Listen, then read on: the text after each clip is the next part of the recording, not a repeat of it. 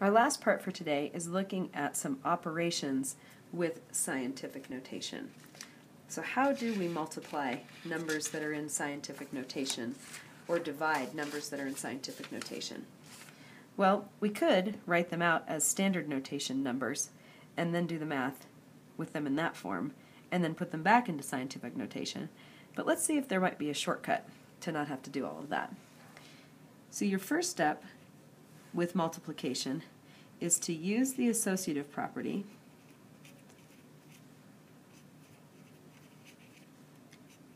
to regroup. And then use the product power rule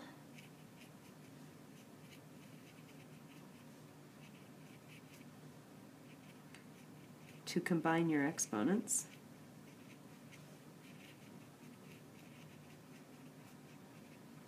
And then as we saw in problems 57 and 58, if the result you get is not in scientific notation, adjust decimal and exponent if needed to make the number in scientific notation. So let's look at some examples of that. When we're asked to multiply 3 times 10 to the 6th times negative 8 times 10 to the 3rd, since all three of the operations happening here are multiplication, we can regroup this into 3 times 8 times 10 to the 6th, oops, negative 8,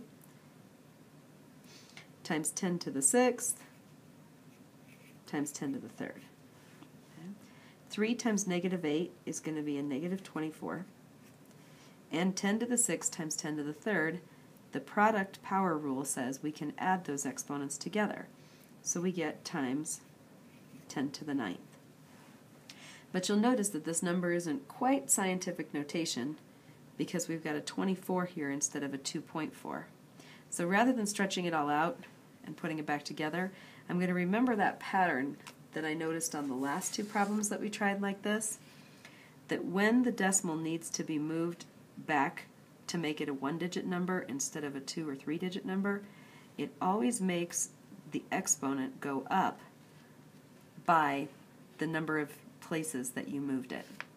So I'm going to change this negative 24 into a negative 2.4, and that's going to make my exponent go up to 10. Let's look at one more example of this. 6 times 10 to the negative 6th times 9 times 10 to the 13th can be rewritten as 6 times 9 times 10 to the negative 6 times 10 to the 13.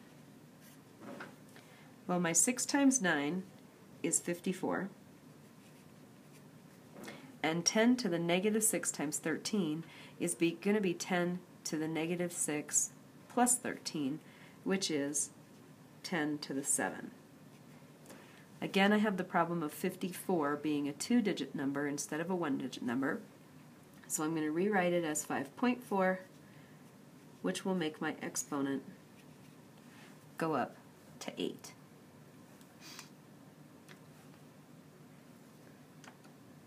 The other thing we need to talk about is how you divide numbers in scientific notation. So using that same associative property, we're going to think of the number parts being separate from our power of tens. Okay? So if we write these, write the number and 10 power separately.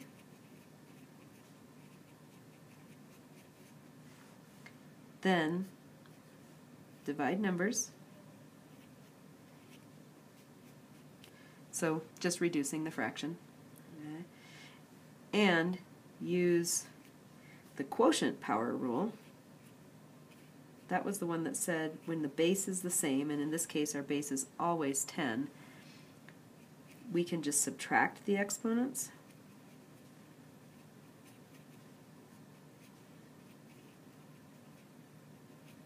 to combine powers of 10.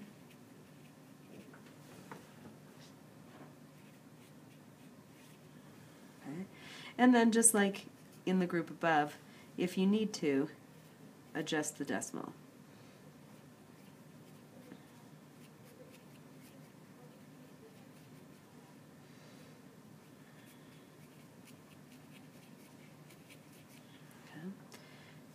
So let's look at a couple examples here. Problem 63, we have 8 times 10 to the 8th over 4 times 10 to the 4th.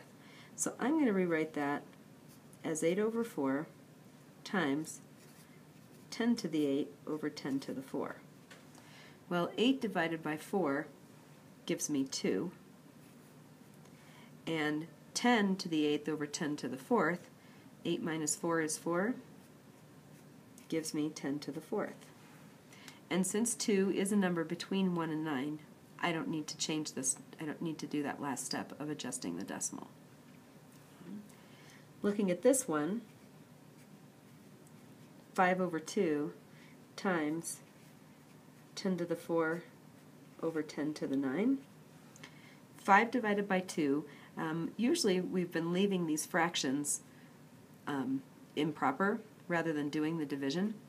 But in scientific notation, you'll notice that the number portion is always written as a decimal. So we do want to go ahead and rewrite this 5 halves in its decimal form, which is going to be 2.5.